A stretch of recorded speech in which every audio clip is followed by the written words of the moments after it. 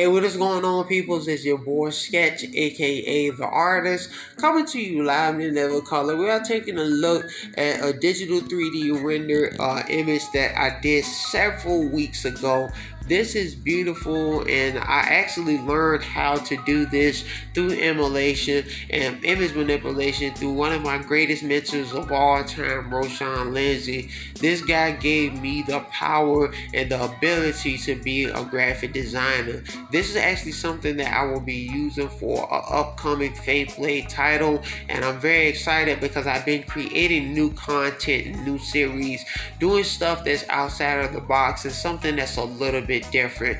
Really hope you guys are enjoying the content. If you would like to know more about this series, there are definitely links in the description to the official website. The beautiful thing that I love about drawing and creating comics is something that I always desire to do. And the main goal of the Faith Blade universe is to train up the next generation of artists and creators in the medium of sequential art and also spread the gospel of Jesus Christ through the medium of comments. If you guys would like to know more about this, there are definitely links in the description to the official website. Thank you guys so much for tuning in. It's your boy, Sketch the Artist, saying back on the grind. Y'all be blessed. Deuces.